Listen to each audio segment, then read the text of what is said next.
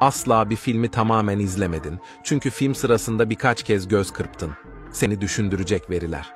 Rüya gördüğünüzde, beyniniz kendi beyninizin deneyimlemesini sağlamak için bir hayal dünyası oluşturur.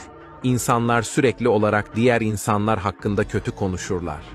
Bugün sırtınızdan kötü konuştular ve bu, yeşil simgeye tıkladığınızda aşağıda ve daha fazlasına tıkladığınızda dördüncü kişi olarak karşınıza çıkan kişiydi.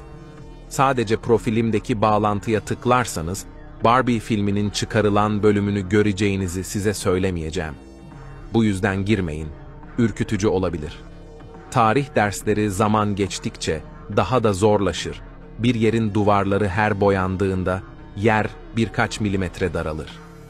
TikTok neden bazı ifadeleri yorumlarda scream yazdığınızda görünen gibi bizden saklıyor? Beynimizin içinde bir sesimiz olduğu hiç tuhaf gelmez. Hiç kimse yakınında olmadığında adınızı söyleyen birini duyduysanız, belki de sizi dikkatinizi çekmeye çalışan başka bir boyuttan biri arıyor. Beğen ve takip et. Seni her gün daha akıllı yapar. Eğer buraya kadar geldiysen, ben ihtiyacım var.